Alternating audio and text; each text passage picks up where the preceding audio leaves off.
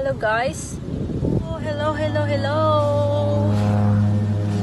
So, another vlog po tayo.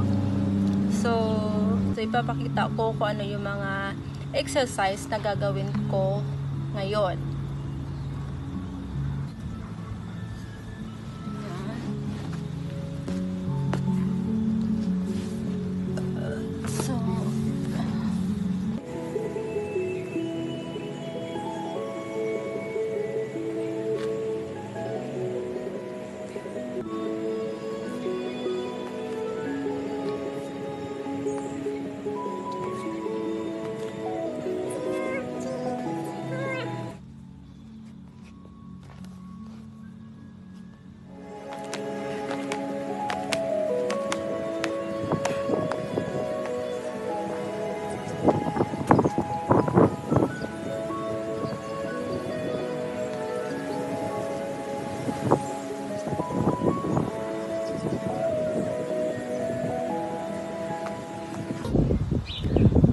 Sarap na hangin.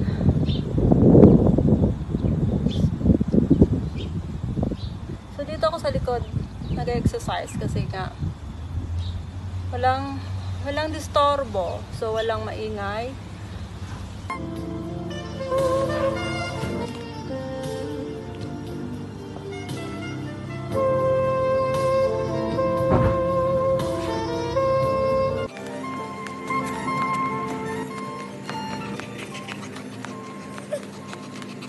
めっちゃ時間かかるから。